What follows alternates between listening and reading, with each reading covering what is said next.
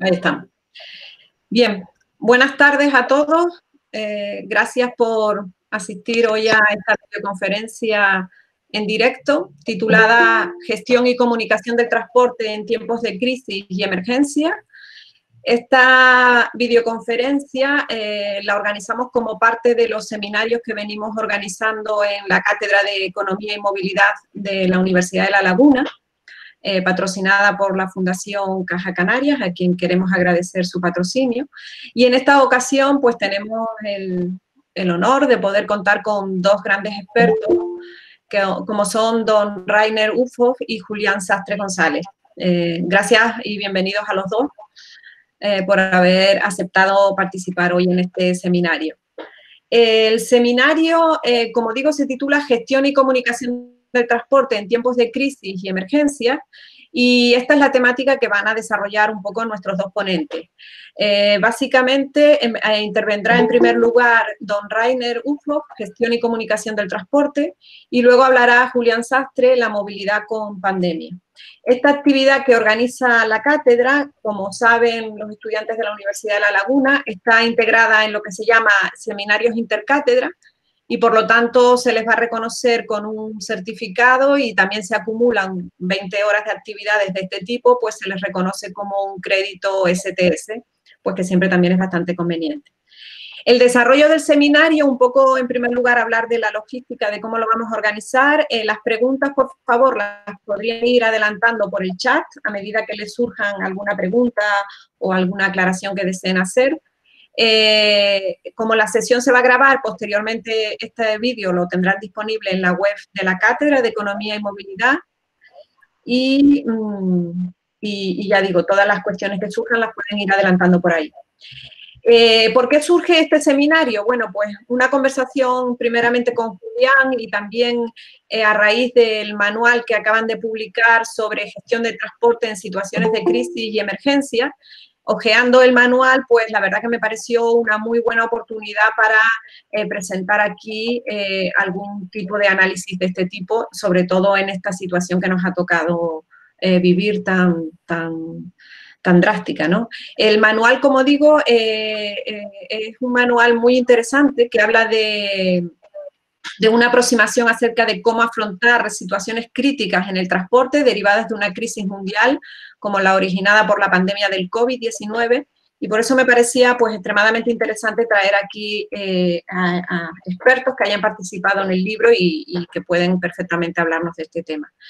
El manual eh, ha trabajado para, se, trabaja para elaborar un instrumento que contenga una serie de pautas para aprender y tener claras líneas de trabajo a la hora de definir una estrategia para afrontar problemas o eventos adversos, como es el caso de la pandemia o incluso eventos climáticos extremos, eventos de gran afluencia de personas, etc. Entonces, me parece que, eh, como les digo, es una muy buena oportunidad para que nos hablen de que se trató en ese libro y en concreto las intervenciones de nuestros dos ponentes. Bueno, sin más dilación voy a pasar a presentar a nuestro primer ponente, que es don Rainer Ufo. Él es eh, profesional del transporte aéreo y terrestre con 30 años de experiencia en el sector. Es máster en Administración de Empresas de Aviación, MBAA, por la Embry-Riddle Aeronautical University de eh, Daytona de Beach, Florida, en Estados Unidos.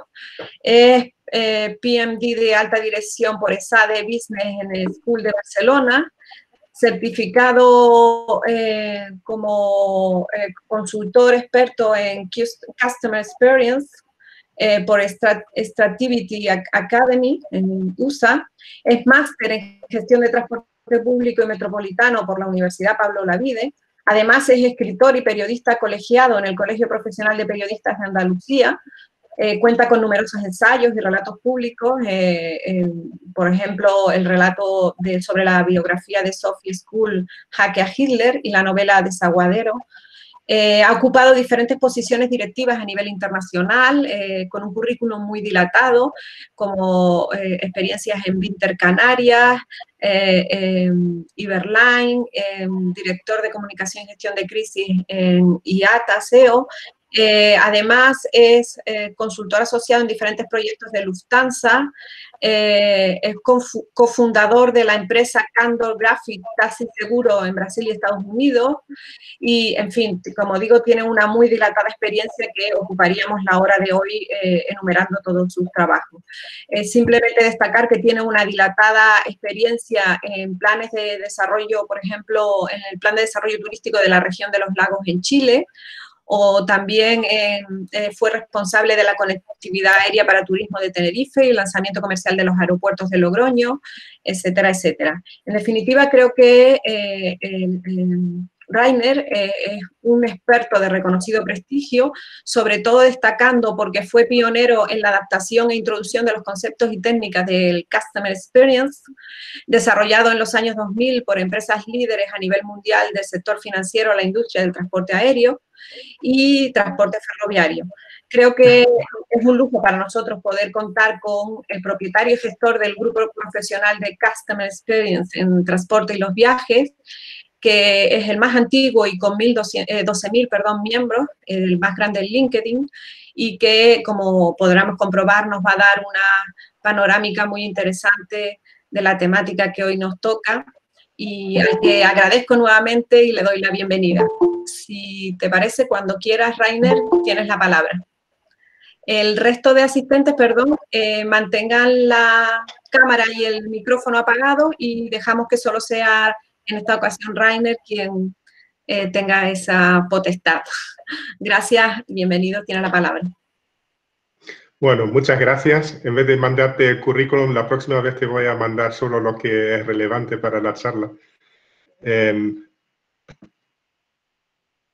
a ver, voy a compartir ya directamente eh, mi pantalla. ¿Lo están viendo?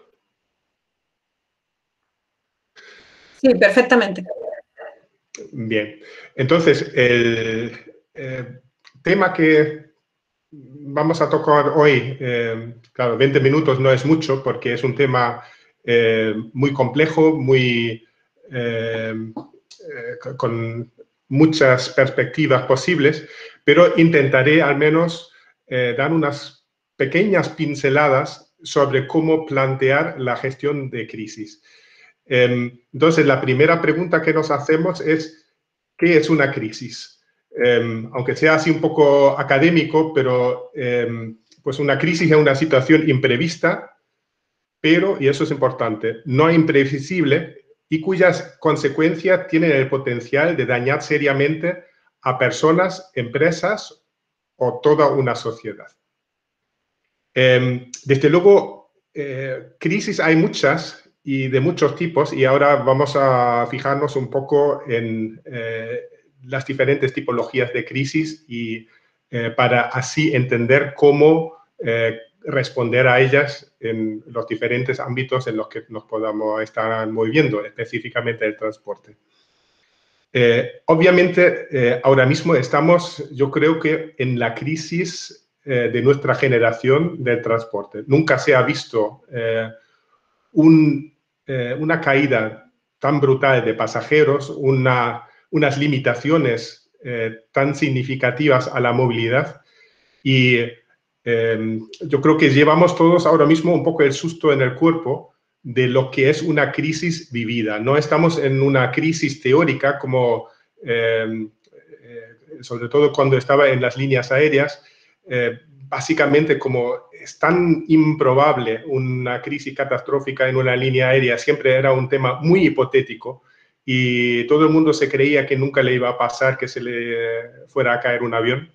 Eh, pero en este caso nosotros eh, en realidad eh, estamos con las manos en la masa, es decir, estamos en medio de una crisis que no es, como veremos ahora, una crisis y aquí tenemos las diferentes eh, eh, tipologías, no es una crisis típica, es una crisis em, pues muy curiosa, porque por un lado tuvo una evolución lenta, se veía venir, pero no nos creíamos que nos iba a tocar.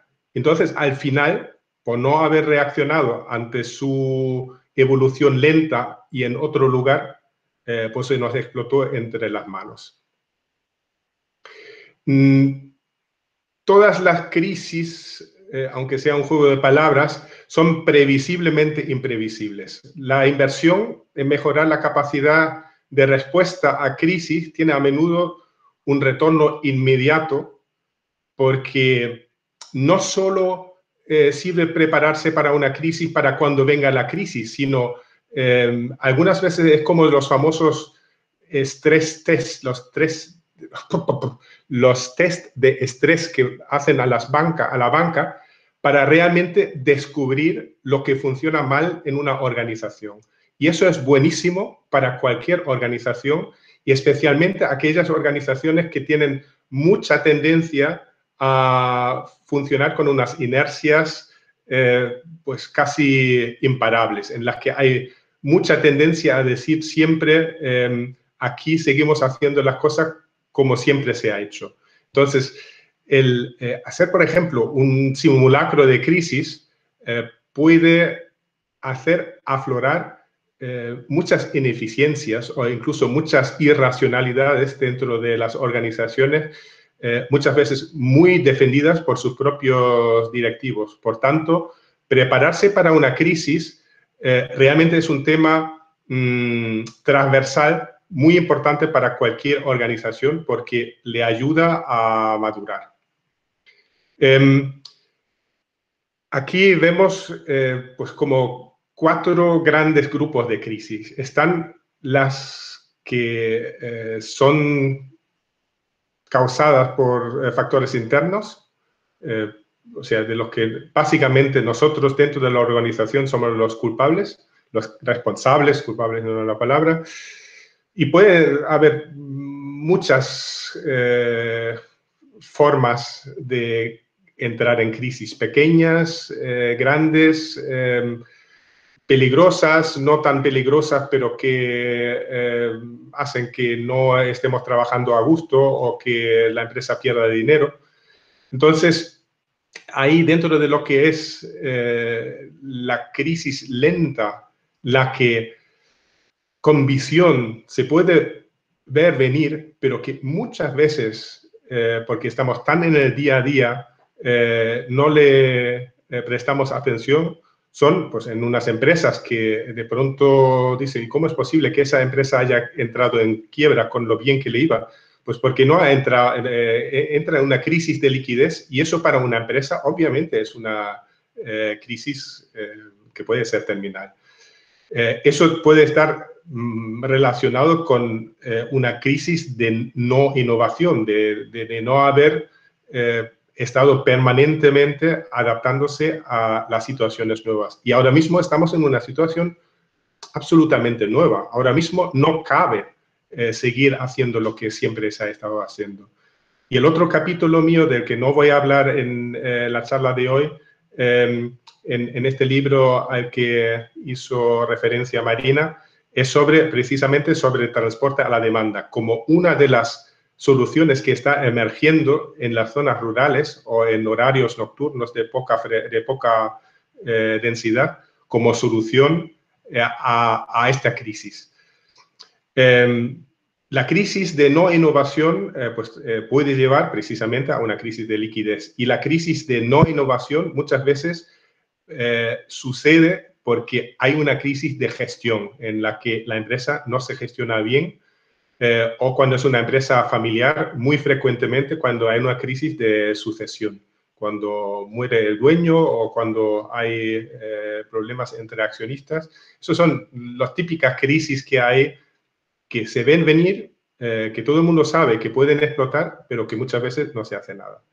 Luego están las externas, como las crisis económicas, la pandemia de desarrollo lento en la que nosotros estamos, o cambios legislativos o regulatorios adversos. Eso, eh, si de pronto eh, hacen una eh, nueva ley que nos perjudica, pues nunca ha sido de pronto, sino mm, todas las leyes siguen un proceso que nos permiten prepararnos.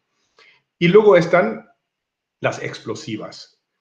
y algunas veces las explosivas son resultado mm, de las lentas, pero que no lo hemos visto venir, como la quiebra cuando hay una crisis de liquidez.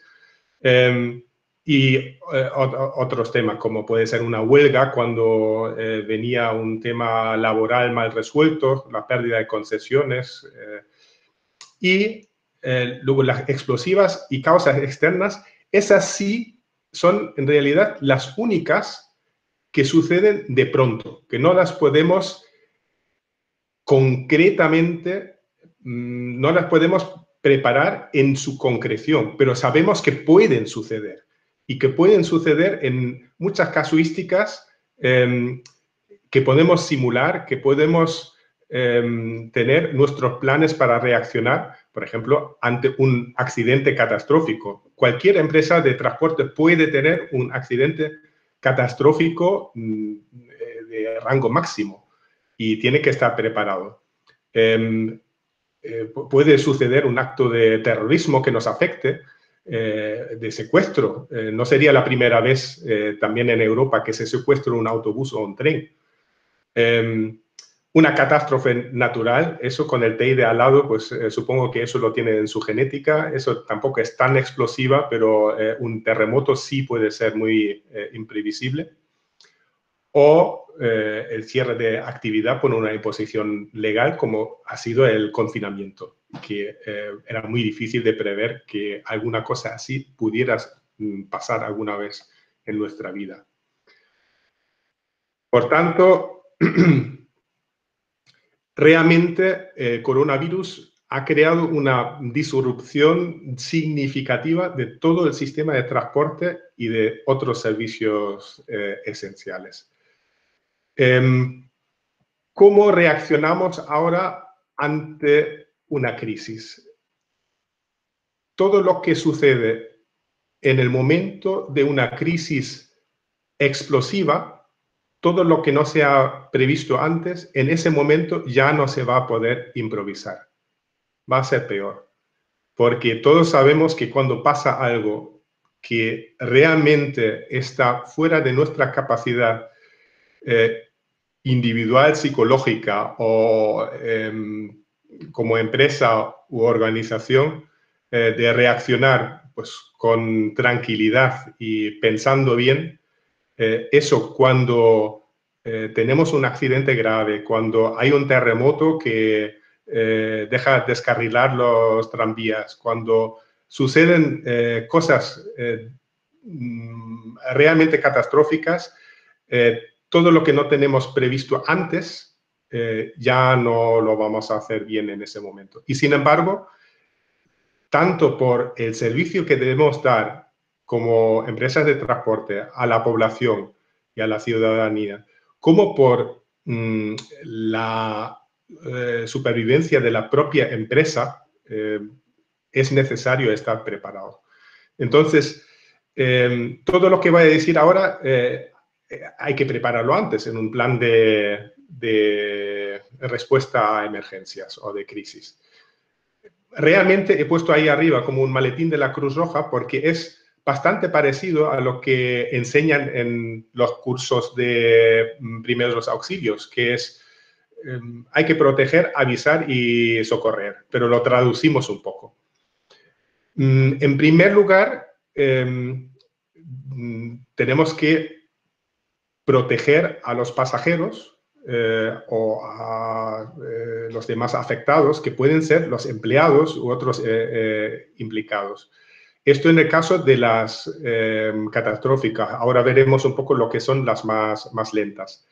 Em, y para eso, pues obviamente tenemos que tener em, preparado un gabinete de crisis, tenemos que tener un manual de crisis, tenemos que tener un manual de comunicación de crisis para saber en cada momento eh, qué decimos y quién lo dice y a quiénes, eh, porque eh, una de las cosas que crea realmente mm, mucha ansiedad en todos los implicados es cuando no hay una comunicación clara que permite saber lo que está realmente pasando. Y cuando pasa algo gordo, y si es con nuestra empresa, eh, todo el mundo nos va a mirar y va a mirar a los directivos de la empresa, pero va a mirar también a los empleados. Por eso todo el mundo tiene que estar eh, preparado para, esa eventualidad, aunque no suceda nunca. Pero como he dicho, aunque no suceda nunca, simplemente el hecho de prepararse ya eh, mm, hace más eficaces y eficientes las empresas. En el segundo nivel está obviamente lo de avisar, lo de comunicar. Eh, deben eh, tener noticias de lo que sucedió los familiares, los empleados, casi diría en el, lugar, en el orden inverso, siempre primero los empleados, porque ellos son los que tienen que estar informados eh, antes de relacionarse con el resto de la sociedad. Por supuesto, las autoridades y ya luego a través de los canales que se establezcan, los medios de comunicación, las redes sociales, etcétera, la sociedad en general. Y finalmente, em, eh, está el momento de minimizar el daño. Eh, como dentro de los planes, las diferentes eventualidades que se planifican ahí, pues pueden ser una cosa, eh, cuando es un, accidente, pues si eh, alguna persona, eh, algún familiar tiene que acudir al lugar del accidente, pues ya se necesita siempre un presupuesto preparado para eso, para poderle pagar los gastos inmediatamente, con independencia de las posibles indemnizaciones futuras, etcétera, que probablemente vendrán del seguro.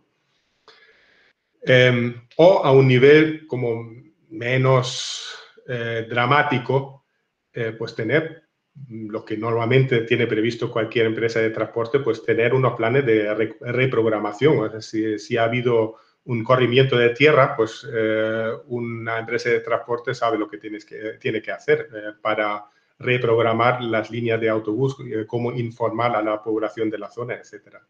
Cuando se trata de algo Em, muy dramático, hay que estar eh, también preparados para prestar apoyo psicológico y siempre coordinarlo con las instituciones competentes para, eh, para estos temas. Y ya lo que es em, la crisis lenta, los pasos son muy parecidos, pero em, ya con la posibilidad de trabajar con más calma y eh, tranquilidad. Entonces ahí volvemos a, eh, pues para mantener simplemente esas eh, palabras que enseñan en los cursos de primeros auxilios, de proteger, avisar y socorrer, eh, un poco a modo de ayuda para acordarnos de los pasos.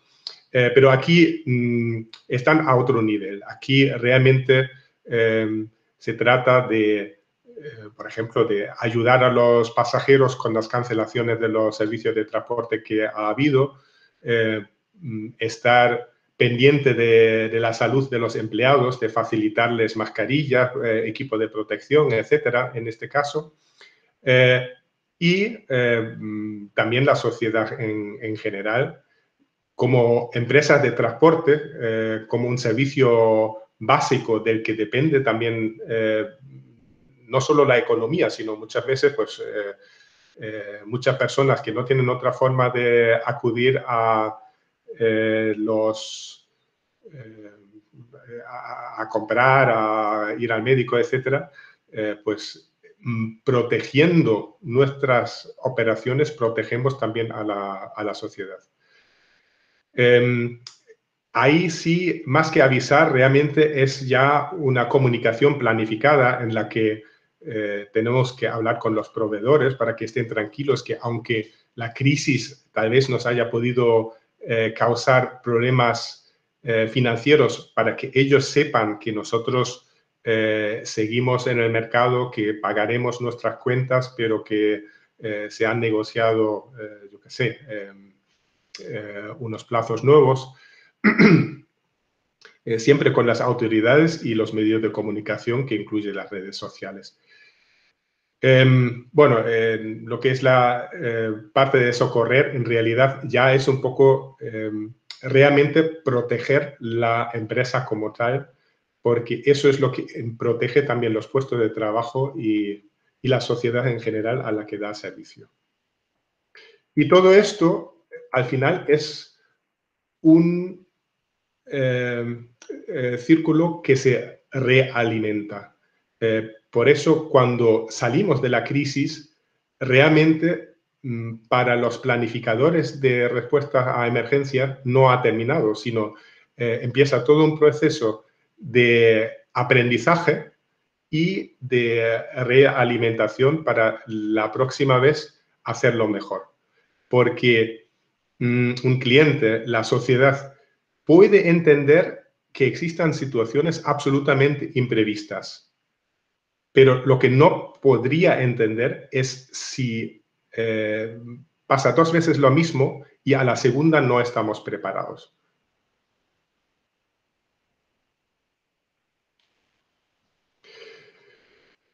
Em, algunas recomendaciones prácticas, porque sé que ya se me va agotando el tiempo. Em, es un tema eh, tan amplio eh, que solo puedo dar unas eh, pinceladas, pero típicamente una crisis, cuando se vuelve explosiva o explosiva, em, empieza con la convocatoria de un gabinete de crisis y abriendo un centro de gestión de crisis, es decir, donde em, eh, los tanto directivos como técnicos relevantes para la operación eh, están en contacto permanente para observar la situación y tomar decisiones. Eh, para eso, em, pues, hay que tener en, el archivo una serie de planes de contingencia que debería ser posible simplemente eh, sacarlos y adaptarlos a la, situación. Porque de esa forma, si pasa algo eh, como un accidente, eh, podemos dar una respuesta muy profesional, muy rápida, usando unas plantillas en las que simplemente, bueno, simplemente rellenamos los campos en blanco. Eh, para eso, pues claro, tenemos que tener toda una serie de documentos previos, de eh, preguntas y respuestas frecuentes, tanto para los eh, empleados como para dar respuesta a, a, la gente de fuera, sea a través de nuestro call center o pues simplemente en la comunicación directa. y eso implica también la activación de sitios oscuros, como se llaman, eh, nada que ver con eh, el Internet oscuro, con la web oscura. Eh, los sitios oscuros son simplemente em, contenidos previamente preparados para diferentes casuísticas de, crisis, de accidentes sobre todo, para que realmente tengamos ya em, toda la información a mano para poder informar a los empleados y a los clientes y la ciudadanía en general.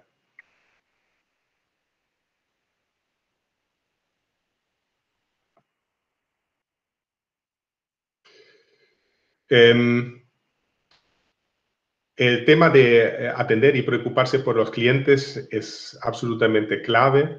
Em, la simpatía futura en la sociedad nos la vamos a ganar con la empatía y la profesionalidad con la que nos preparamos.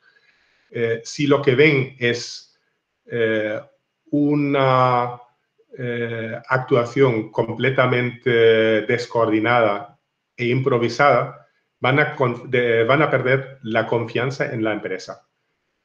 y eso, cuando es una empresa privada, eh, hay, muchas, eh, eh, muchos ejemplos de empresas privadas que han quebrado después de una crisis mm, catastrófica, pero también es verdad que hay muchos ejemplos de empresas privadas que hasta se han visto mm, fortalecidas por una respuesta muy profesional, muy empática después de una crisis porque entonces eh, todo el mundo entiende que suceden accidentes.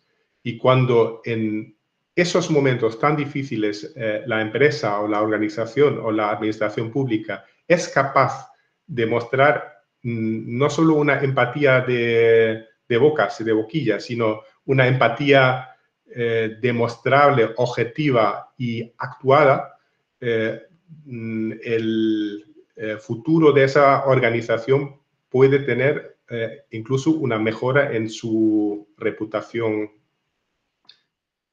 En su reputación.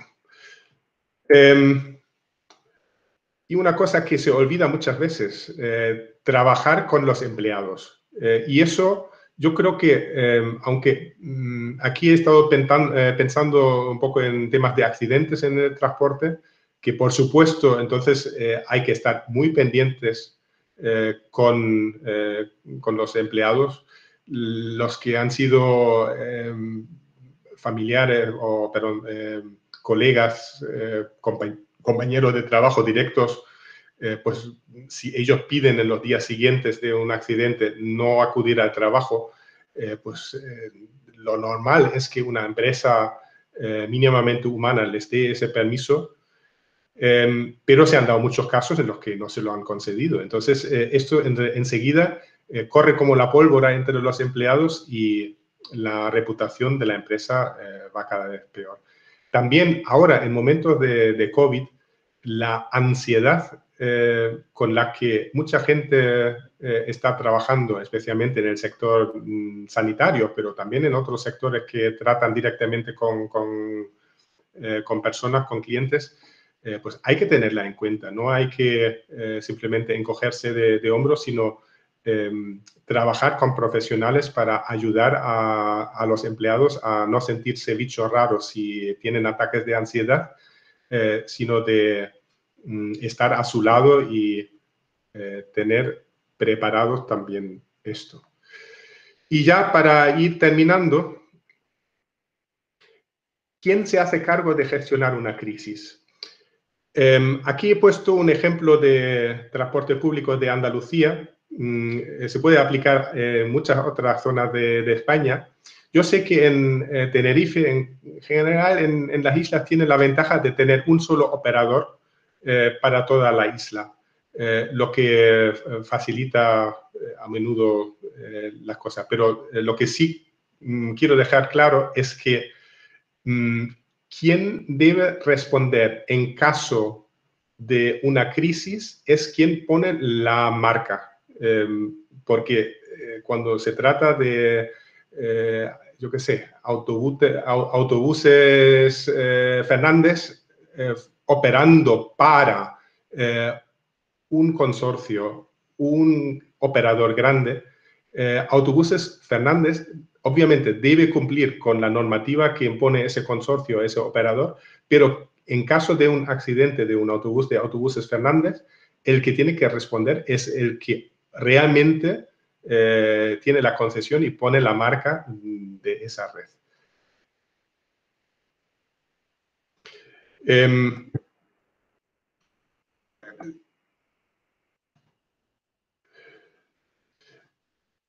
no se debe olvidar lo que es el coste de no reaccionar. Muchas veces eh, cuando se habla de eh, tener un proyecto de eh, comunicación de crisis, de respuesta a emergencias, no se tiene en cuenta que no prepararnos puede tener un coste extraordinariamente alto en el medio plazo e incluso eh, por no aprovechar la oportunidad de mejorar la organización de la que hablé antes.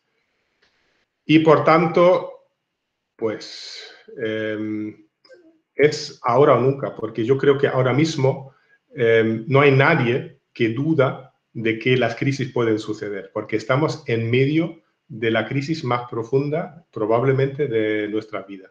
Y por tanto, eh, que este es el momento no solo de preparar planes de contingencia, sino realmente de aprovecharlo también para afrontar cambios estructurales y estratégicos, tanto en, a nivel de reglamentos, de eh, legislaciones de transporte, como de lo que es la organización propiamente dicha de las empresas de transporte.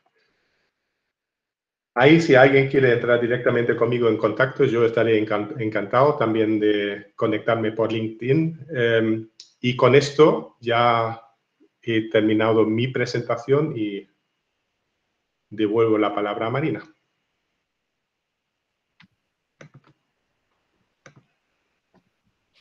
Bien, muchas gracias, Rainer. Eh, ahora a continuación pasaremos con la presentación de Julián Sastre sobre la movilidad con pandemia. Eh, simplemente dar algunas reseñas de Julián Sastre, también tiene un, currículum muy amplio y, no quiero dilatarme mucho. Eh, sí señalar que es doctor ingeniero civil, ingeniero de caminos, canales y puertos por la Universidad Politécnica de Madrid, experto de sistemas de transporte urbano y movilidad urbana con más de 30 años de experiencia, es consultor internacional y presidente del Instituto de Movilidad. Eh, comenzó su carrera profesional en el Consorcio de Transportes de Madrid, Autoridad del Transporte Metropolitano, para después dedicarse a la consultoría de transportes en España y en diversos ámbitos internacionales.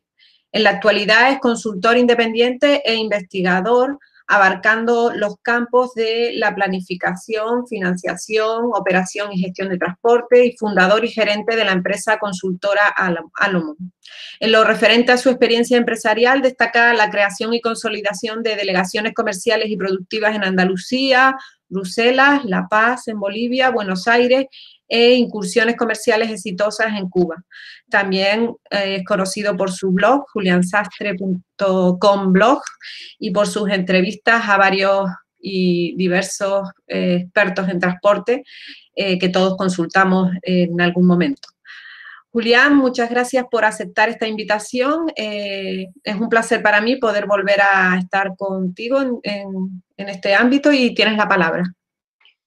Bueno, Rosa Marina, muchísimas gracias. Ya sabes que yo siempre contigo y con la Universidad de La Laguna estoy encantado, así que agradezco mucho eh, esta oportunidad. Espero que se esté viendo eh, bien la, pantalla. Sí.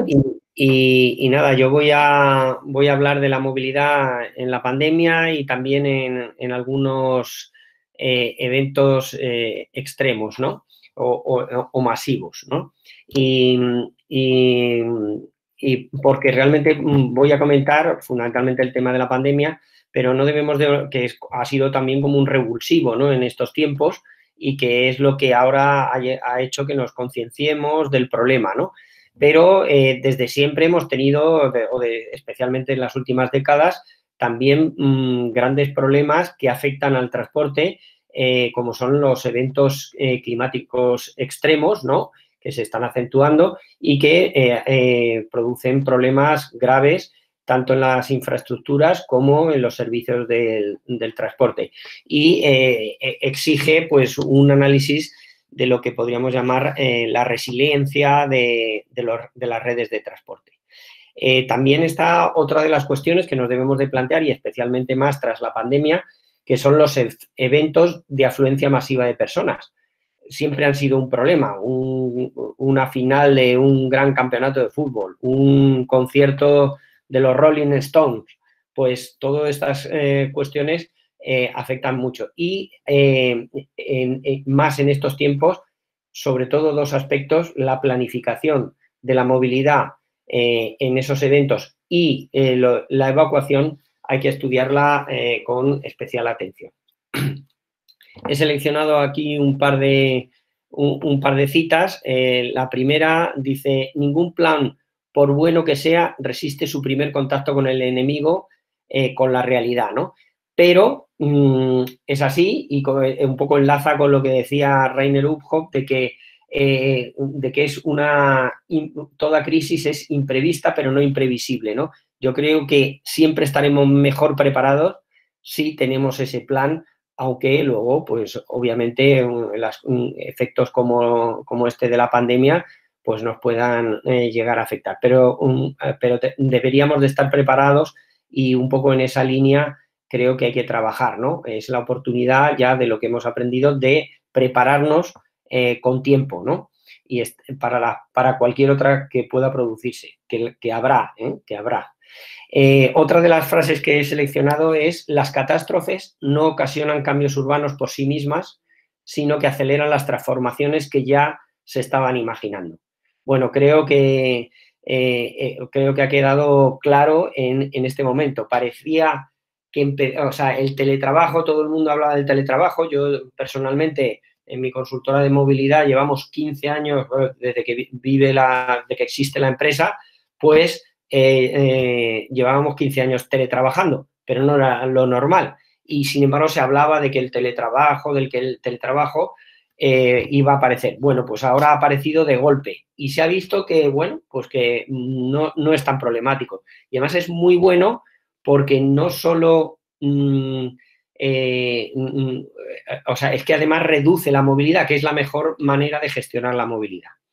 Y además, otro tema es la educación a distancia, la educación online, ¿no? pues parecía como que era marginal, solo para algunas cuestiones, algunos posgrados, eh, aquellos que la universidad a distancia es minoritaria, y sin embargo ahora de repente pues se ha extendido, ¿no? Eh, y por lo menos semipresenciales eh, creo que van a ser muchos de los próximos de los próximos tiempos las, las carreras universitarias que se van a, realizar. Eh, de todo esto, bueno, pues eh, ya lo ha dicho mm, Rosa Marina, hablamos eh, del manual sobre gestión del transporte en situaciones de crisis y emergencia, que además de Rainer, que también es coautor conmigo, hay otros coautores y entre ellos algunos están presentes como Samir Awad, que está en, en, estos momentos conectado también eh, en, el, en, la webinar.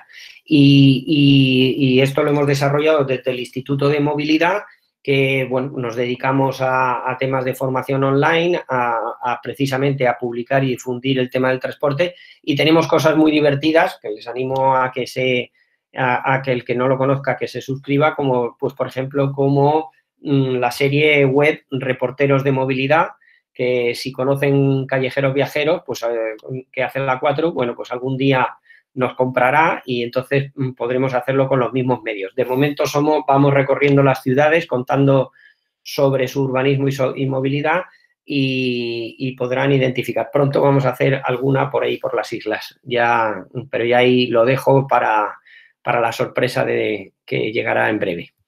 Eh, eh, también Bill Gates nos adelantaba hace unos años que no estábamos preparados para una pandemia. Esto lo dijo creo que hace unos cinco años en alguna charla y vamos, eh, como se dice, lo clavó, ¿no? Y que habría que invertir. Pues bueno, ahora creo que tenemos que estar conscientes de que tenemos que invertir en, en estas cosas en la pandemia, pero también en la preparación para las próximas que vengan.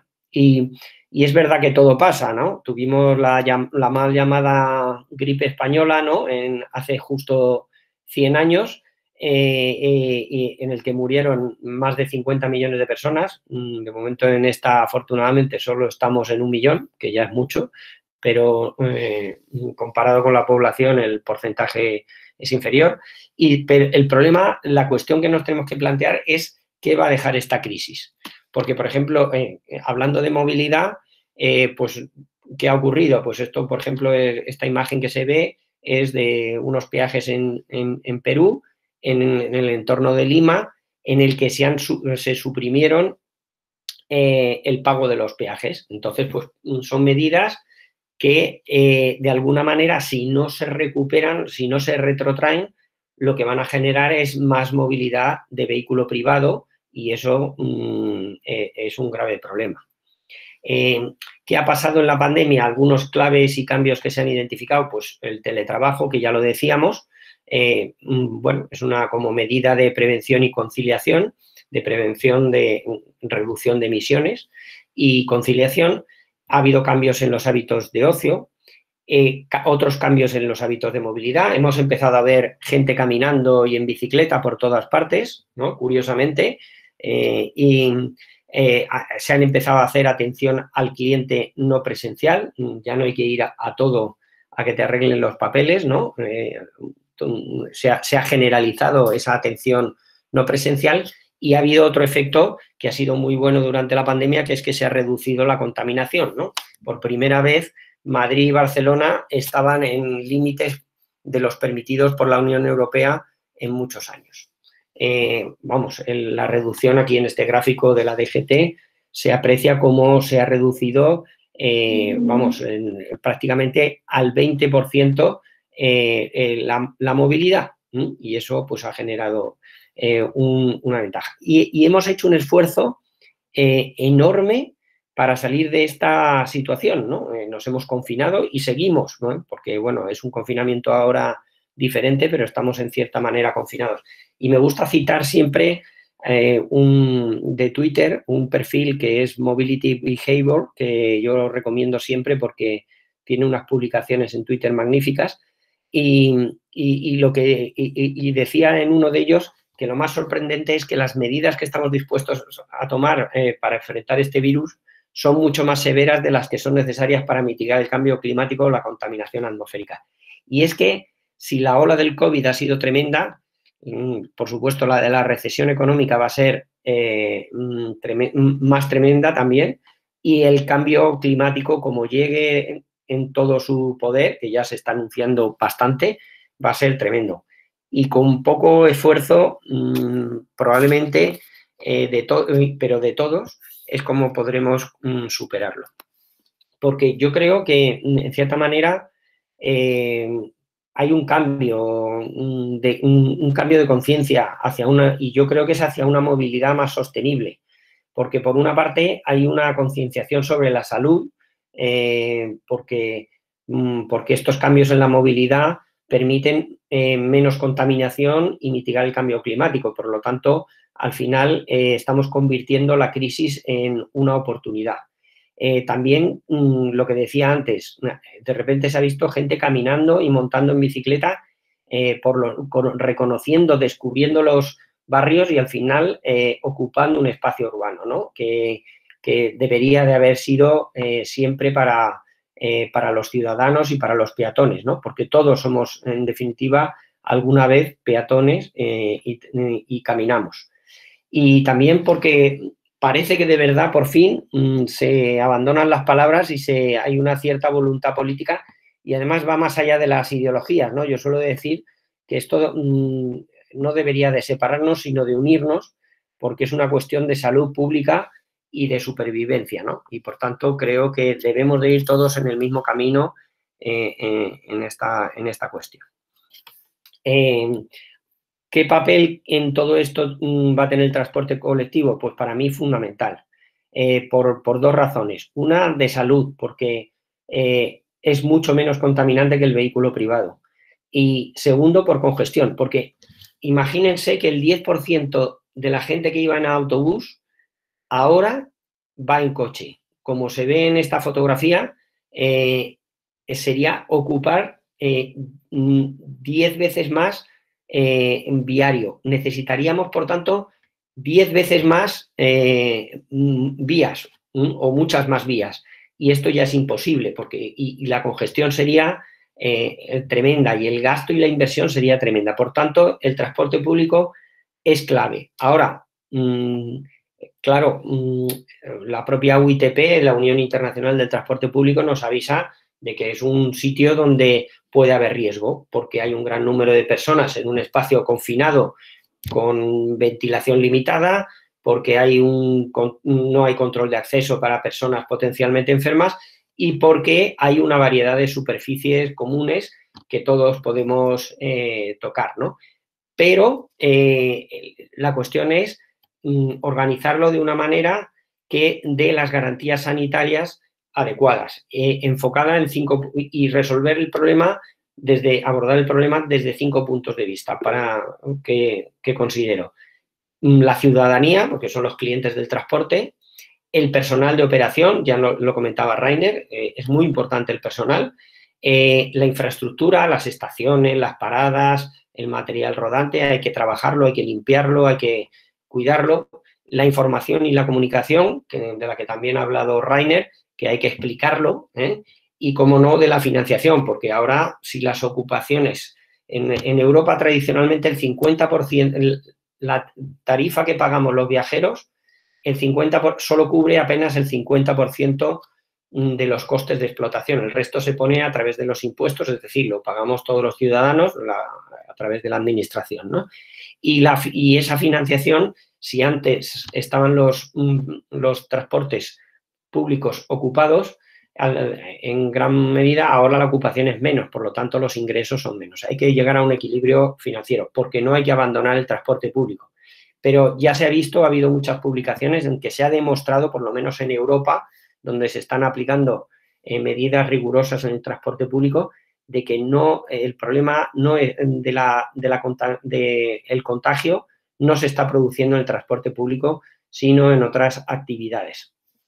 Eh, me, queda por mencionar brevemente mm, en el, tema del transporte de mercancías. ¿Qué va a pasar? ¿no? Eh, se, ha, extendido, por una parte se ha extendido el comercio electrónico.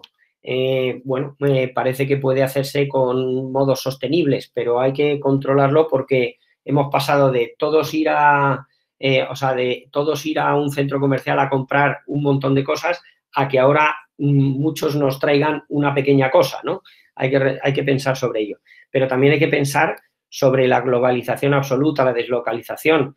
lo que nos ha ocurrido es, y nos ocurre es que estamos trayendo un bolígrafo desde China, ¿eh? Eh, atravesando mares y tierras para que nos llegue una cosa de un euro, ¿no? Eh, no parece que, se esté internalizando adecuadamente los efectos que produce en, en, el cambio climático, en la contaminación, etcétera.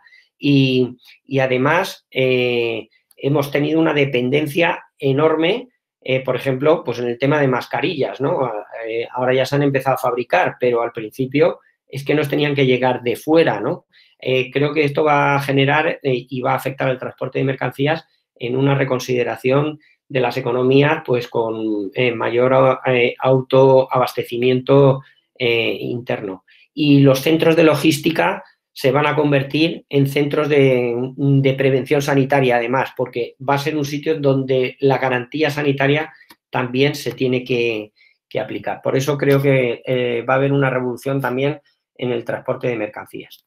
Eh, brevemente, por citar lo de los eventos extremos, mm, eh, mm, pues, pues creo que están ahí, que cada vez son más acuciantes y tenemos que estar preparados porque afectan mucho al transporte. Aquí vemos el colapso de un viaducto en 2012 en, Lorca, en Murcia, y, en la derecha vemos el, impacto de la nube de cenizas que se produjo hace unos años y que cerró, y cerró prácticamente eh, eh, los aeropuertos de toda Europa, eh, evitando que pudiéramos movernos. O sea, afecta a la movilidad y igual que afecta a toda la existencia y toda la vida en, en, en el mundo. ¿no?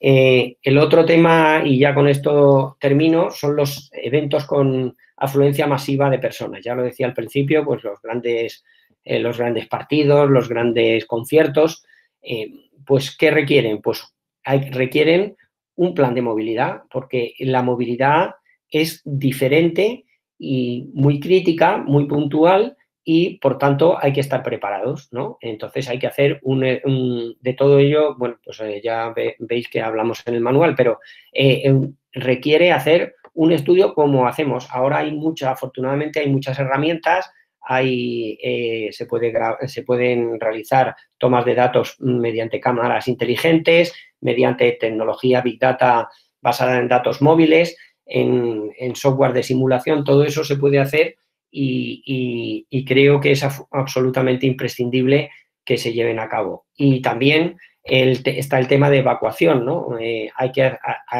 hay que preverlo, hay que estudiarlo muy bien y, ahora además hay herramientas de simulación muy, muy potentes. Nosotros, por ejemplo, usamos el BISWOC eh, del grupo alemán PTV, pero hay otras, otras tipologías y conviene hacer esos análisis porque, porque puede ser un gran problema y, y más ahora que, eh, hay, que hemos sido conscientes con lo del tema del distanciamiento eh, sanitario. Eh, y al final las soluciones que, que, hacen que una evacuación sea segura son mm, acciones tales como la reducción del aforo máximo permitido, el sistema de alarma, mejorar el sistema de alarma disminuyendo el tiempo de evacuación, eh, modificación de las características físicas del entorno, eliminación de obstáculos a la salida. Es decir, todas ellas nos valen también para eh, mm, un poco para el proceso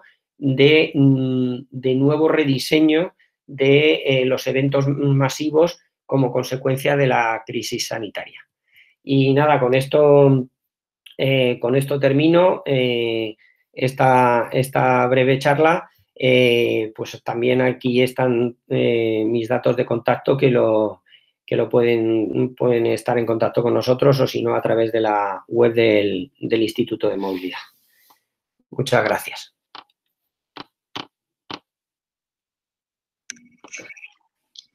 Muchas gracias, Julián. Eh, muy interesante las dos conferencias. Y bueno, tenemos una pregunta en el chat. Eh, Irene Pérez, eh, no sé si la ve Julián o en Houston en 2017 las autoridades decidieron no evacuar la ciudad ante el huracán Harvey. Se decía que era porque era imposible desalojar a la población sin colapsar por completo las carreteras y que la inundación hubiese alcanzado a la gente en el coche. ¿Se podría dar esta situación en España? ¿Hay planes de evacuación de la población de ciudades enteras ante emergencia? No sé si Julián o Rainer, si se quiere conectar también la, la cámara y el micro. Bueno, yo, no sé si Rainer los conoce, los planes de evacuación de la población de ciudades enteras. Mm, yo personalmente eh, no los conozco. Imagino que algo habrá eh, previsto, aunque sea muy general, pero realmente eh, no los conozco. Y situaciones que se pueden y que se puede producir, mm, pues claro que sí. Por eso, aunque van a ser extremos y van a generar problemas, por eso es lo que decía un poco antes, que hay que estar preparados. Esos planes eh, eh, requieren una preparación y a lo mejor, pues no hasta ahora no hemos estado preparados. Rainer, supongo que tú podrás mm, comentar algo. Em, no. Realmente, em, esos son em, el, caso concreto, eh, tengo que admitir, no, lo he estudiado y por tanto eh, prefiero no improvisar ahora. Hay que tener un plan para todo. Perfecto. bueno, yo, si se animan, si no, yo voy a hacer alguna pregunta. Eh, un poco la reflexión de eh, qué podemos aprender de esta crisis y de esta situación extrema que nos ha tocado vivir y qué aprendizaje podríamos sacar para el futuro. ¿no? a mí, eh, sobre todo, me preocupa el tema de mm, que lo que uno observa en los comportamientos de los viajeros es sobre todo ese rechazo a zonas eh, masificadas o donde hay muchos usuarios, ¿no? Y, entonces se ha observado una reducción en los usuarios del transporte colectivo y cómo sí se ha ido hacia, como decía Julián, eh, hacia esos modos de transporte individuales que son más sostenibles y deseables, como eh, caminar y bicicleta, pero ciertamente la intermodalidad tiene que existir, ¿no? Porque eh, solo bicicleta y a pie no podemos hacer nuestra movilidad. Entonces, eh, ¿cómo recuperamos si, si, entramos en, la mente de los usuarios?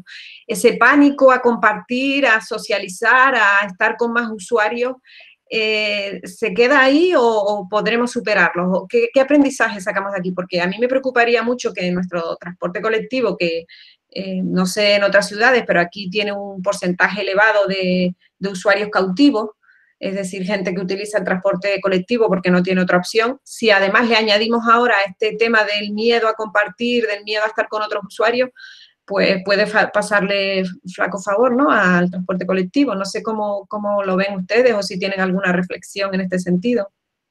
Bueno, yo, yo tengo dos reflexiones, una que casi se la dejo a Rainer porque es más de lo que ha contado, ¿no?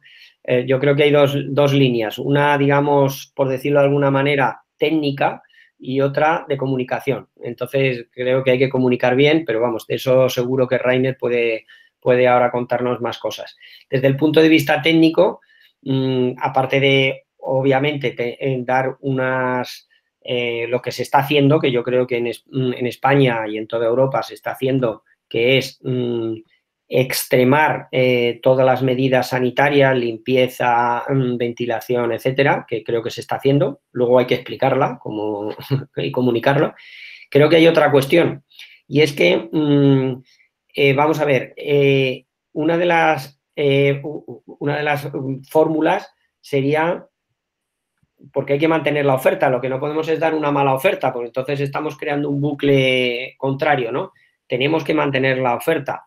Pero claro, para mantener la oferta sin hacer mucha más inversión, que no son tiempos, hay una medida muy fácil, que es simplemente vamos a dar carriles preferenciales al transporte público. Si le damos carriles preferenciales, no solo estamos aumentando la velocidad, no solo estamos dando un mejor servicio, sino que además con el mismo número de autobuses y el mismo número de personal podemos dar mucha más frecuencia y por tanto más distancia eh, sanitaria. Con lo cual estaremos dando esa tranquilidad. Ya hemos visto que se ha demostrado que no es el foco de contagio principal, pero además hay que transmitir esa tranquilidad. Pues es tan fácil como, igual que estamos haciendo carriles bici ahora y ampliando las aceras, eh, hagamos también carriles eh, reservados para el autobús y mm, con esa nueva velocidad comercial, pues resolver el problema. Perfecto. Rainer, no querías añadir algo. Hay que comunicar, sí, em, pero em, hay que comunicar sobre hechos. No es solo cuestión de comunicar algo que eh, al final Em, solo encubre eh, algo.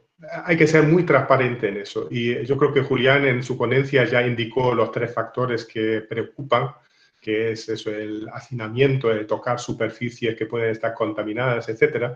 Entonces, el, primer punto obviamente es eh, comunicar sobre eso, es decir, que la empresa explica cómo, cómo lo afronta. Em, luego, se, pueden, se puede ir a estudios que se han hecho y hay uno que, eh, muy interesante de los ferrocarriles alemanes, porque ¿quiénes son los que más viajan en cabina de pasajeros? Los revisores. Y eh, ahí eh, descubrieron que no existe una incidencia mayor entre los revisores eh, que entre los pasajeros. Es decir, estando todo el día en el tren eh, con pasajeros y en Alemania realmente los, los, trenes nunca se han bajado las frecuencias como en España. Em, es verdad que no van tan llenos, pero eh, sí va gente. Em, y entonces eso es simplemente un hecho empírico que yo creo que mm, contribuye mucho a, tranquilizar al pasajero del transporte público. Y luego hay un tercer elemento eh, que es realmente, mm, yo creo que mm, tampoco se ha hecho un gran favor eh, por parte de las administraciones públicas eh, cuando se permitió volver a llenar al 100% de aforo el transporte público. Yo creo que eso es, eh, eso es lo que más ansiedad crea. Eh, cuando yo no tengo garantía de que eh, no tenga una persona tosiendo justo en mi oreja. Em, hay un proyecto que hemos trabajado desde MoveMe en Alaurín de la Torre, en Málaga. Es una ciudad de unos 50.000 habitantes que pertenece al área metropolitana de Granada, de, perdón, de Málaga, donde eh, se han sustituido tres líneas de autobús urbanas por un servicio de transporte a la demanda. ¿Qué significa eso? Mm, por un lado, em, ya no existen las frecuencias como tales, es decir, ya no hay una frecuencia de paso cada hora, sino el autobús opera cuando hay una solicitud. Y luego de las tres líneas, eh, los vehículos que hay en circulación eh, van desde cualquier parada de esas tres líneas a cualquier otra parada de esas tres líneas. Em, eso tiene dos efectos. Primero, eh, la tranquilidad de que como es sobre una petición de la APP o llamando al call center, pero desde luego es mucho más eficiente haciéndolo a través de la, de la aplicación de móvil, em, nunca va a haber más plazas eh, vendidas de las que hay en el autobús. Y además, eh, nosotros ahí eh, operamos con microbuses de, de 19 plazas y dijimos claramente que solo íbamos a ocupar un máximo de 9 plazas. Em, y el otro tema es em, cuando baja la demanda, la tentación es bajar la frecuencia y entonces entras en un bucle eh, casi de expulsión de los clientes del transporte público. Eh, cuando tienes un transporte a la demanda, em, la gente de pronto se encuentra con que puede viajar cuando necesite viajar de donde esté a donde quiere ir, eh, sin transportes, etcétera, y por tanto con una velocidad comercial mayor. Eh, el operador tiene la ventaja de que no tiene expediciones vacías. Em, ¿Cuál es eh, un poco el resumen de esa operación? ahí la gente no ha rechazado el transporte público, de hecho, yo creo que es el único sistema de transporte en España que ya en julio superó los em, números de pasajeros pre-COVID y em, además el operador pudo reducir el número de vehículos que estaba utilizando por uno, es decir, mm, ganan absolutamente todos y mm, ahí sí eh, se puede comunicar con hechos de que no hay hacinamiento en el transporte público, es un servicio de pronto muy personalizado y em, incluso si pasara algo, hay trazabilidad epidemiológica, es decir, como todos los viajeros viajan em, identificados, si mm, hay el, eh, el eslabón débil de la eh, cadena, no es el transporte público, sino son los rastreadores que las autoridades de salud no ponen en cantidad suficiente.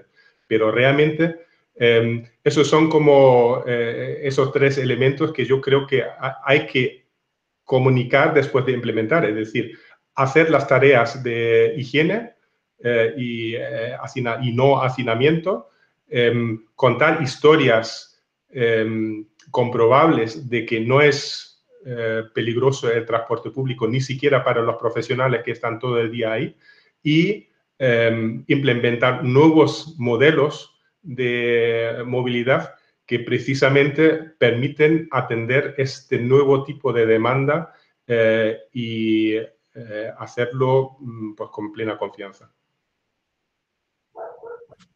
Muchas gracias, Rainer y Julián, muy interesante. Eh, tenemos una pregunta de Laura González Magdalena, bueno, un poco en, el sentido de el cambio de movilidad de lo privado a lo público en los lugares en los que el servicio de transporte público presenta deficiencias demostrables en cuanto a frecuencia y movilidad. Pregunta, ¿estamos preparados en época de pandemia para afrontar ese cambio, tanto económico como social?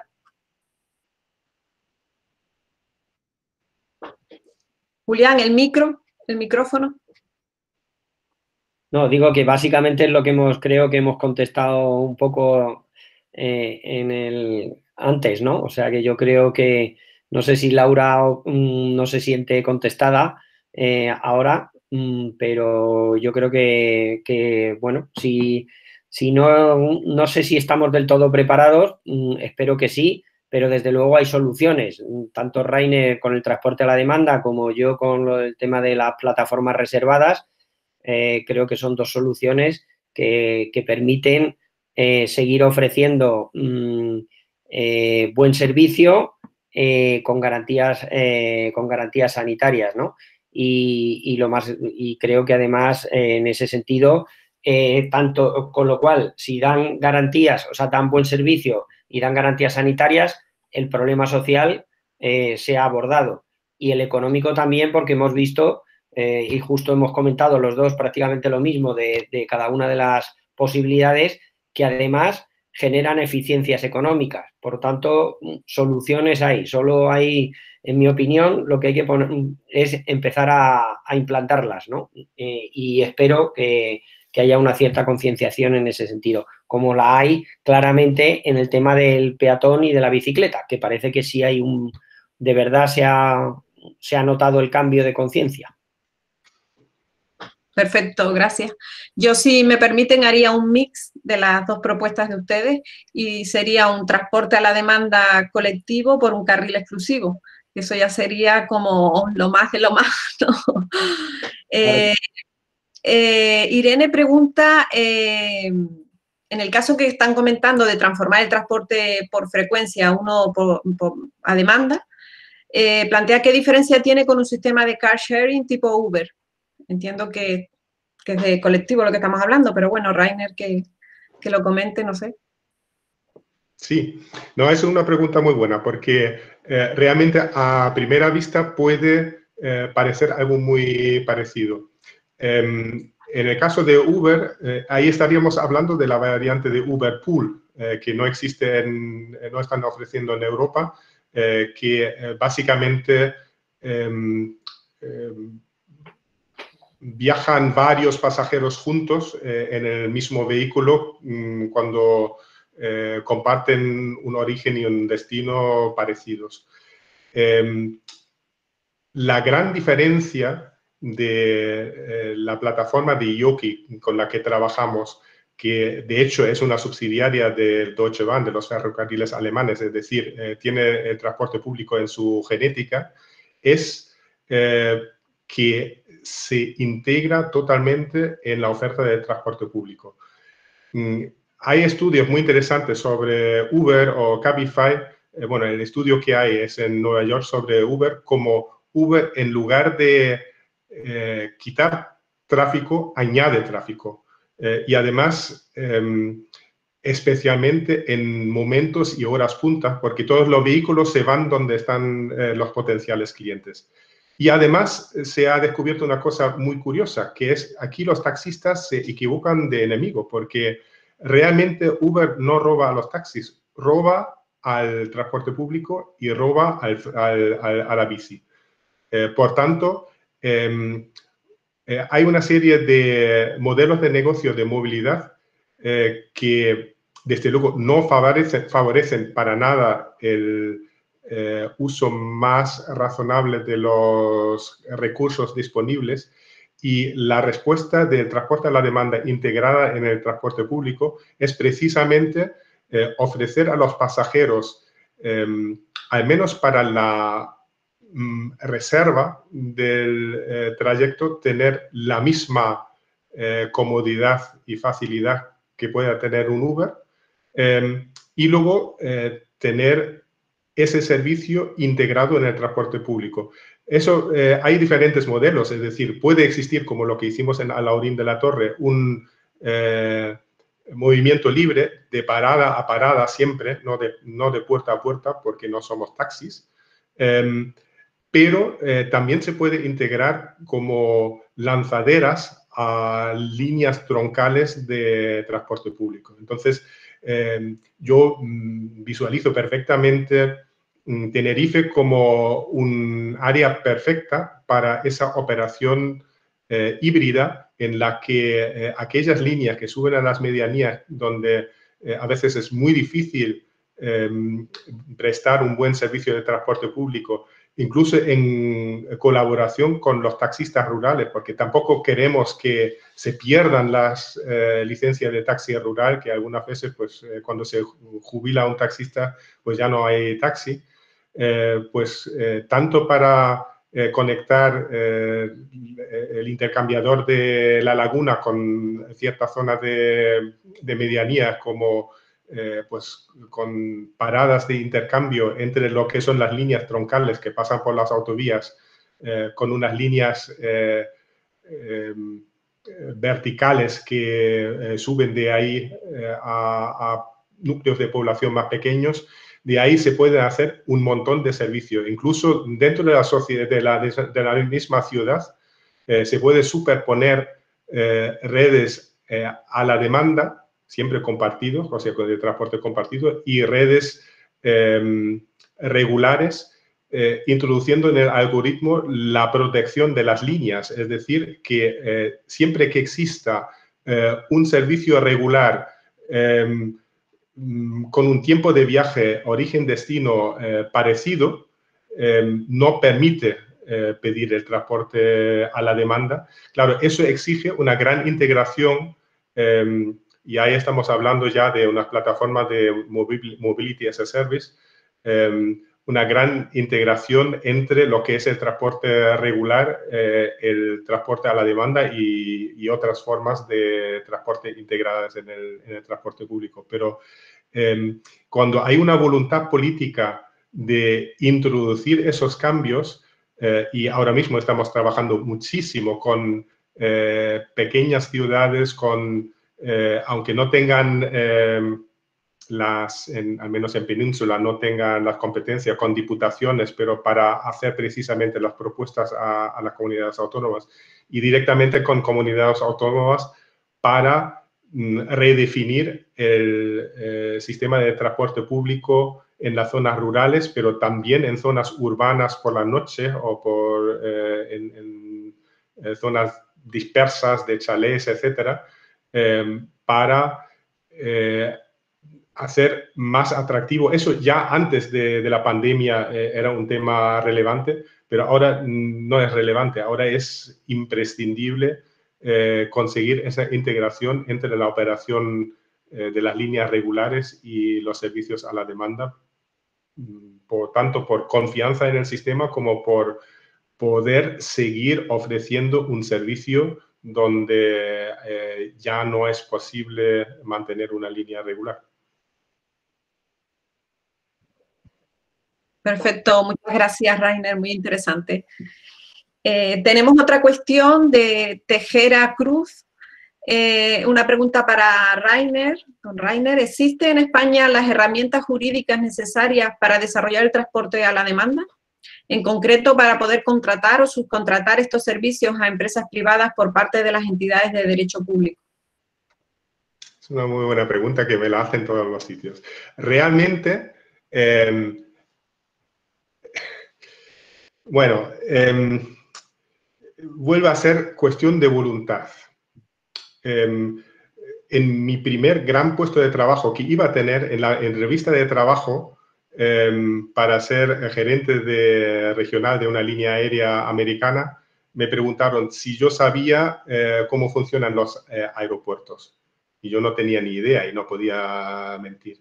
Y cuando dije, pues no lo sé, me dijeron, pues perfecto, porque eso es un mundo que está tan lleno de expertos en lo que no se puede hacer, eh, que necesitamos precisamente eh, personas con ganas y energías que eh, superen ese tipo de inercias. Yo creo que este es el momento. Cuando planteamos el transporte a la demanda en Alaurín, todos nos dijeron, no lo podemos permitir, pero hacedlo. Em, y luego lo resolvieron eh, la parte eh, regulatoria. Ahí hay un problema que, por un lado, em, eh, si estás en el transporte discrecional o si estás en el regular. Si tienes una concesión en la que tienes que cumplir unos horarios o te permiten no cumplir esos horarios o no tener horarios. Em, me constan diferentes legislaciones y regulaciones de transporte autonómicas que ya han establecido, además de lo que es el transporte regular y el transporte eh, discrecional, el transporte a la demanda como otro elemento más. Em, también me consta, porque justo esta mañana hubo una eh, webinar muy interesante en el MICMA, en el eh, Ministerio, en el que se estaba hablando precisamente de esos nuevos elementos eh, para la futura ley de transporte. O sea, todo eso se está moviendo ahora eh, de forma muy rápida. También, no, no, voy a decir qué isla, pero en eh, una de las Islas Canarias estábamos muy avanzados en un proyecto, pero de pronto el al operador le, le, dio miedo de, pues entonces era antes del COVID, de entrar en conflicto con los taxistas del aeropuerto, de toda una serie de elementos que pensaba que no iba a tener el respaldo eh, del cabildo. Yo creo que esa situación ha cambiado radicalmente. Ahora mismo eh, simplemente mm, plantean eh, proyectos. De todas formas, yo me ofrezco, em, no, me acuerdo del nombre de la persona, pero yo estaré encantado también de responderle personalmente si tiene más, más dudas al respecto, porque obviamente con, con esas dudas me encuentro cada día.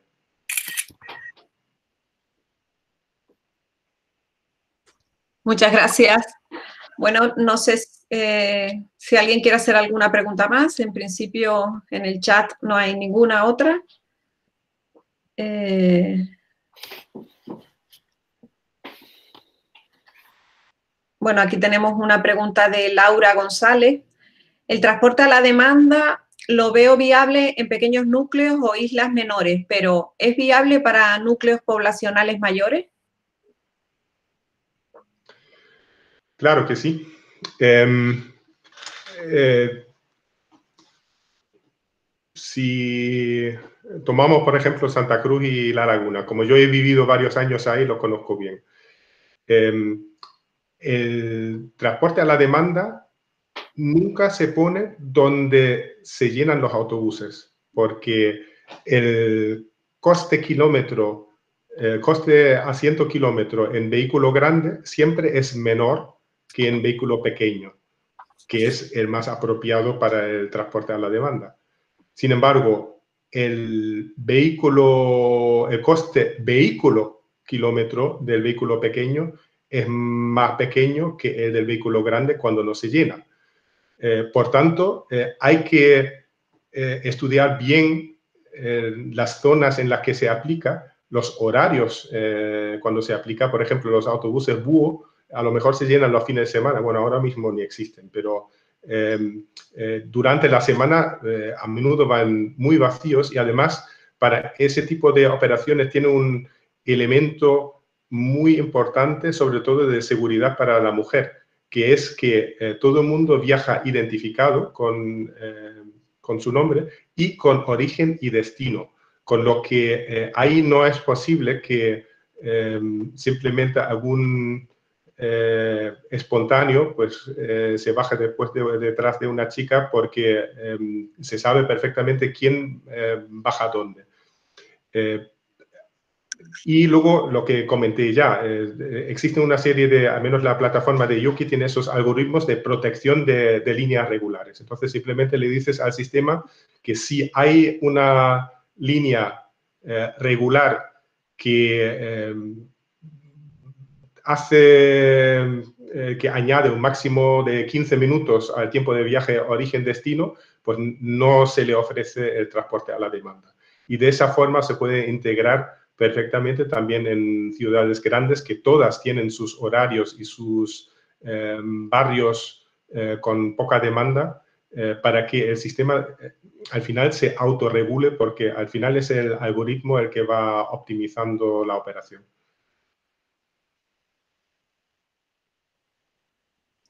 Pregunta Laura de nuevo, eh, da las gracias y dice, ¿para estas rutas tendría ocupación mínima para que se haga el viaje? ¿Tendría que haber una ocupación mínima? No, no. Em, todo cuando se planifica una zona a la demanda, em, básicamente se tiene en cuenta mm, dos dimensiones, la económica y la de calidad de servicio. Y, eh, por supuesto, em, hay que tener en cuenta ambas cosas. O sea, el tema tiene que ser sostenible también económicamente. al final, todo es cuestión de ver eh, qué tipo de servicios regulares costosos puede sustituir, porque siempre es mejor enviar una furgoneta para una persona que operar todo el día un autobús por si acaso va una persona. Em, no hay ningún sitio, porque eso eh, crea, eh, con eso perdería el atractivo del transporte a la demanda. No conozco ningún sistema en el que eh, se exija un mínimo de pasajeros para, para operar, pero eso se suele regular con horarios de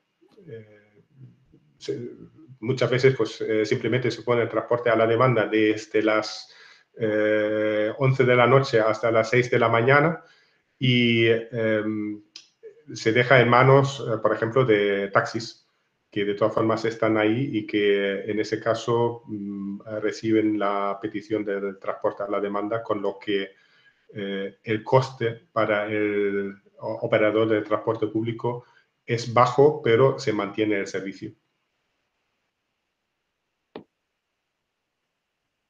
Muchas gracias. También en algunos casos eh, se puede pedir un, eh, eso en España no, no, conozco ningún caso que lo haga, pero en Alemania, por ejemplo, donde son muy frecuentes los abonos mensuales eh, de viajes ilimitados, Eh, entonces, eh, cuando tienes trabajo, eh, cuando tienes transporte a la demanda, el riesgo es que todo el mundo lo usa, lo use hasta para comprar el pan a la tienda de la esquina. Entonces, cuando mm, podrías utilizar el transporte público de manera gratuita porque ya has pagado el abono, se suele mm, cobrar un suplemento de un euro o algo así que sirva un poco de disuasión del uso innecesario. Muy bien, muchas gracias, muy interesante, ciertamente. Eh, bueno, no tenemos más preguntas. Eh, en relación a lo que comenta Rainer, me viene a la mente un, ejemplo de un caso de estudio que hicimos justamente con un trabajo fin de grado en la facultad, donde estudiábamos el circuito interuniversitario del autobús que une los campus, que no sé si lo conoces, pero es recurrente que va prácticamente vacío todo el día. Eh, puntualmente algunos estudiantes suben de una facultad a otra, pero en determinadas horas y en, determinada combinación origen-destino. El resto de puntos, pues ciertamente está el servicio circulando sin nadie. Entonces, una de las fórmulas que proponían las alumnas en este caso era un transporte a la demanda, que lo veíamos como, como algo ¿no? Muy, muy, muy eficaz en ese sentido, porque mm, incluso el propio, el propio chofer comentaba que, que, bueno, sí, todos los días tengo que pasar por aquí, pero yo ya sé que aquí no va a haber nadie. Y es un poco como frustrante, ¿no? Entonces yo creo que es una, fórmula ciertamente muy interesante y que tiene cabida en muchos, en muchos contextos, la verdad que sí, muy interesante. Eh, bueno, eh, Antonio García pregunta si podemos compartir las presentaciones. Eh, lo vamos a hacer a través del vídeo que hemos grabado y que cuando lo tengamos elaborado, que será en uno o dos días, lo colgaremos en la web de la cátedra. Ahí podrán ver las presentaciones y las intervenciones de los dos ponentes. Eh, si no hay más preguntas, yo cierro el seminario agradeciendo tanto a Rainer eh, UFO como a Julián Sastre, primero que hayan aceptado esta invitación. Para mí, la verdad que es un placer poder contar con gente de este nivel y que nos den todo este aprendizaje eh, de una forma tan cercana, es de agradecer. Y bueno, dejo la puerta abierta para si hay otras ocasiones, pues eh, poder volver a contar con, con vuestras intervenciones. Muchas gracias y nada, eso es todo. bueno, gracias a todos vosotros y además como yo me siento medio chicharrero y mi hija pequeña es chicharrera, pues eh, yo he encantado de estar aquí. Hubiera preferido hacerlo presencialmente, pero bueno, algo es algo. Pues emplazamos para eso, a ver si podemos hacerlo presencialmente la próxima vez. Julián, ibas a decir algo, perdona. No, que me apunto a ese presencial. Perfecto. Muchas gracias a los dos y dejamos aquí la grabación.